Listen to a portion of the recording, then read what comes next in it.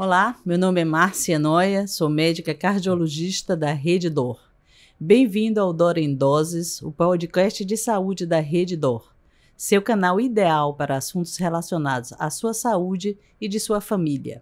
Acompanhe nossa programação semanal de 18 horas no Spotify e no YouTube. Estamos agora diretamente do Congresso Internacional da Cardiologia de Rede Dor em uma edição especial de conteúdos sobre prevenção e doenças no coração. No episódio de hoje, iremos falar sobre sono e coração. Uma doença hoje que cada vez mais a gente vê na mídia, a mídia vem falando muito sobre sono e coração. E hoje a gente está aqui para discutir sobre isso com a gente. Rafael Domiciano, ele é coordenador da cardiologia do Hospital Anária Franca em São Paulo. Tudo bem, Rafael? Como é que você está? Olá, Márcia, tudo bem? Um prazer poder falar de um tema tão relevante quanto a qualidade do sono na saúde cardiovascular. Eu queria te perguntar qual é mesmo a relação e se existe alguma relação entre o sono, uma boa noite de sono, e o coração. Sim, com certeza. É, o sono ele faz parte de toda a parte de regulação do sistema cardiovascular, né? Não só do sistema cardiovascular, né? regulação do corpo. É, é no momento de descanso que a gente vai ter os ciclos hormonais, as, o descanso neurológico e o descanso cardiovascular. É, uma noite mal dormida e um padrão de noite mal dormida pode muito bem piorar a saúde cardiovascular e gerar inúmeras alterações no corpo das pessoas. André, Rafael, você está me dizendo então que dormir mal faz mal para o coração? Com certeza. Não só para o coração, mas para todos os sistemas. Pensando em coração, o que, que atrapalha dormir mal, né? Qual que é o problema? Dormir não é só um luxo, né? É, nem questão de preguiça, isso é uma coisa que a gente tem que desmistificar. Durante o sono, o nosso sistema cardiovascular ele entra em repouso. Então, há uma menor frequência cardíaca, uma redução da pressão arterial e a gente tem todo um equilíbrio hormonal. Que equilíbrio é esse, né? É a questão do cortisol, que é o hormônio do estresse, adrenalina, todos esses hormônios reduzem e o nosso sistema consegue descansar. Se a gente não tem esse descanso, é, a gente aumenta a pressão arterial, aumenta a frequência cardíaca e isso pode gerar uma série de doenças relacionadas à parte cardiológica. Se você pudesse me aconselhar assim, Márcia, você tem que dormir de tal forma e durante quanto tempo? O que é que você aconselharia para mim? É, na verdade, a gente o, o, não tem um, tem um padrão correto para cada pessoa, né? Mas idealmente o sono precisa ser de pelo menos aí de 7 a 11 horas, mas depende muito do perfil da pessoa. É, mais importante que dormir tempo de, de sono é ter uma qualidade de sono. Não adianta nada você deitar e você acordar inúmeras vezes, por exemplo. É, e para se ter um bom sono, é importante ter todo um cuidado. Preparar o ambiente, reduzir a luz. Durante a redução de luz, é quando aumenta aquele hormônio que muita gente compra fora, vai na farmácia, que é a melatonina, o hormônio do sono. A gente tem esse hormônio, a gente não precisa comprar. A gente pode tomar esse cuidado para ter um aumento desse hormônio. Além disso, evitar a utilização de aparelhos eletrônicos, a gente sabe que isso vai aumentar a resposta neurológica também, vai dificultar o nosso sono. De repente, estimular o sono lendo um bom livro, ouvindo uma boa música. E principalmente, como cardiologista, a gente sempre tem que frisar a questão dos bons hábitos de vida. É, evitar sedentarismo, evitar tabagismo, é, exercícios frequentes, um corpo regulado com bons hábitos, ele traz um sono regulado também. Olha que coisa interessante. Então você já nos deu aí um monte de dicas de como melhor dormir melhor e qual a duração ideal.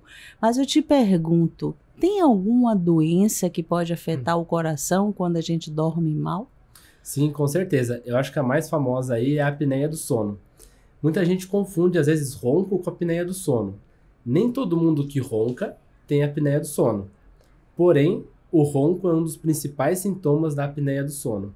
E essa, sim, é uma doença, uma doença crônica que exige tratamento e acompanhamento. E me diga uma coisa então, então todo mundo que tem ronca, ele deve procurar um médico em nível ambulatorial para fazer alguma investigação? Ou você aconselha, além dos que roncam, aquelas pessoas também que dormem de forma inadequada? É, eu acho que tem é, dois nichos aí que são importantes. Primeiro, é, sempre a gente sabe o marido que, ou a esposa, um ou outro que vê o outro roncar, o filho que vê o pai ou a mãe roncar. Eu acho que esse toque de procurar um atendimento é importante. Além disso, é, a gente sabe os fatores de risco cardiovascular, hipertensão, obesidade, todos estão relacionados também com a apneia do sono. Então, se por um acaso você tem algum desses fatores de risco, também vale a pena. Pode estar relacionado, pode estar piorando a sua saúde cardiovascular. Além disso, é, aquele paciente que não dorme bem, também é importante fazer essa avaliação. Então, a avaliação nunca é mal-vinda, ela sempre é importante até para definir se você tem ou não essa doença. É uma doença que afeta 5% das pessoas. Então, muitas vezes a pessoa tem apneia do sono e não sabe que tem. Ah, mas como que eu vou saber se eu tenho ou não, né? É, alguém pode te avisar que você está roncando, que é um dos principais sintomas. E você também tem sintomas do dia a dia, por exemplo, cansaço excessivo, é, dores de cabeça, sonolência durante o trabalho e até mesmo na saúde sexual masculina a gente tem disfunção erétil. Então são inúmeros sintomas que podem te levar a saber que seu sono não está adequado. Rafael, eu soube que sono também leva algumas arritmias do coração, ou a ausência de um sono adequado. É verdade isso? Sim, com certeza. A gente tem uma das arritmias mais comuns, que é a fibrilação atrial dentro da cardiologia, e é uma arritmia que normalmente a gente acaba investigando, sim, é, a apneia do sono. Mas a gente vê uma redução da saturação, que é a quantidade de oxigênio no sangue, aumento de gás carbônico no sangue, tudo isso aí pode induzir uma arritmia também. Então é importante sempre conversar com o seu médico, tudo, para entender se de repente não é uma condição que pode ser importante ser investigada. E pressão alta tem algo a ver, algo a ver também com uma noite mal dormida ou não? É, com certeza. É, a pressão ela entra em toda aquela questão hormonal, né? Então a gente tem o cortisol, que é o hormônio que nos deixa acordado, ativos.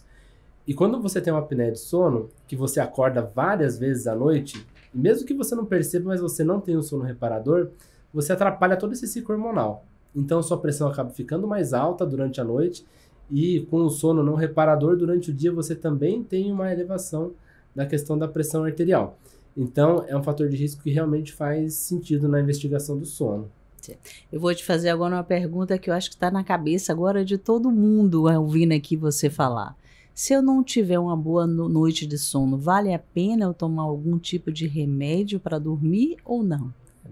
É, veja bem, isso é uma questão bem complicada, porque o que acontece? É, a gente tem algumas fases do sono que são muito importantes. Tá? Então a gente tem uma fase inicial, mais leve, e tem uma fase mais profunda depois.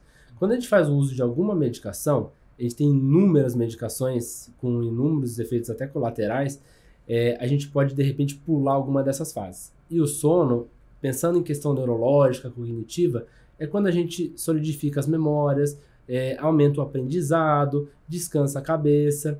Então, o uso de medicações tem que ser estritamente orientado pelo seu médico, porque o uso indiscriminado aí pode até piorar a questão do sono. Então, essa é uma mensagem extremamente importante, né, Rafael? A gente não deve estimular o uso de medicações com o intuito de dormir, a não seja especificamente guiado pelo, no, pelo médico assistente que está acompanhando esse, você em nível ambulatorial, não é isso? Com certeza. É, a gente sabe que o, o, uso indiscriminado das medicações é, realmente pode piorar. A gente vê medicações é, na mídia aí, como Zolpidem, outras medicações. Tem inúmeros tipos de medicações, né? Então precisa de uma avaliação médica adequada até para saber qual remédio pode ou não pode tomar e se precisa. Às vezes só aquelas dicas para tentar é, manter um ambiente para dormir, é, você já consegue ter um sono.